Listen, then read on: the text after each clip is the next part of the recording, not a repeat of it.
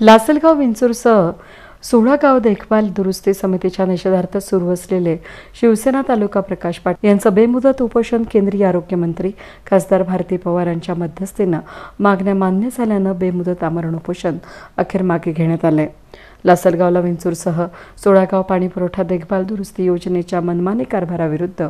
शिवसेना तालुका प्रमुख प्रकाश पाटील यांनी एक मेला ग्रामपंचायत कार्यालय लासलगाव इथं शुद्ध आणि सुरळीत पाणी पुरवठा होण्यासाठी बेमुदत आमरण उपोषण सुरू केलं होतं. त्यानंतर या प्रकरणी एक दखल घेऊन खासदार भारती पवार यांनी नाशिकला मंगळवारी सायंकाळी सहा वाजता तातडीची बैठक घेऊन त्या दरम्यान तालुका प्रमुख प्रकाश पाटील यांना बी सीद्वारे संपर्क करून चर्चा केली.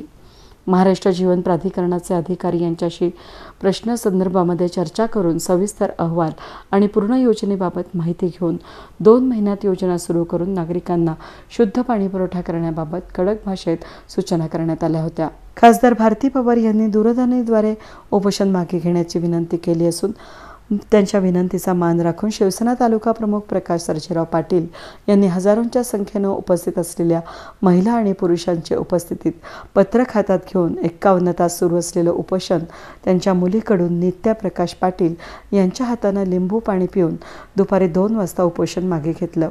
यावेळी महिला आक्रमक झाल्या होत्या. त्यांनी दोन महिन्यात शुद्ध आणि सुरळीत पाणी पुरवठा नळाद्वारे न झाल्यास आमदार आणि खासदार यांना गावबंदी करू ग्रामपंचायतीला कुलूप ठोकण्याचा इशाराही यावेळी दिला.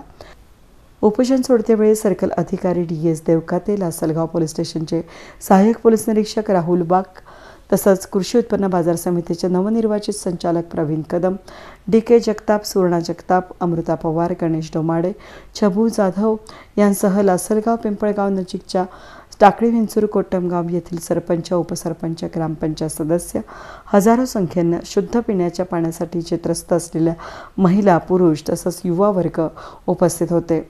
यावेळी लासलगाव पोलीस स्टेशनचे सहाय्यक पोलीस निरीक्षक राहुल वाघ यांनी मोठ्या प्रमाणावर चोख पोलीस बंदोबस्त तैनात ठेवला होता.